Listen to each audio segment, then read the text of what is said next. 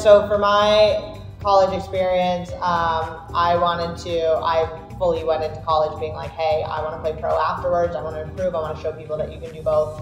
Um, and so I still played as an amateur in professional tournaments just for a ranking. So by the time I graduated, I was ranked 10 in the world. And so that kind of gave me the boost. I got to miss, I got to skip that first year of having to dog it out in um, small tournaments all over the world. I, I did that when I was 16, 17, when, yeah, when my ranking was at that um, stage. And, but once I did graduate, it was like, hey, I have all of this time on my hands.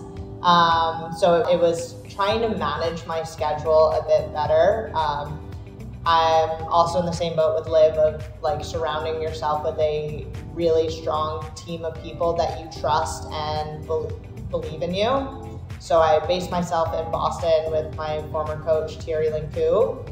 So I was there and I had my fitness coach, my physio, I had a sports psychologist, and that was kind of my core team of people to help me out. But then it was it was all kind of a learning learning experience each season. It was understanding how many tournaments can I handle in a row before it's too much for me mentally, um, or being on the road too much. It's not all about hey you have time like just kill yourself in physical like training, um, and managing my training load and being a bit more intellectual with how I'm training the warm up, the cool down, the prehab, the rehab, all of that is essential. Kind of, you know, it's easy to put in five hours, four hours of training a day or five hours of training a day, but it's what do you do the rest of the day that's going to help you improve and be a better professional, which, um, you know, I learned the hard way with I ruptured my Achilles in 2017 and I was sidelined for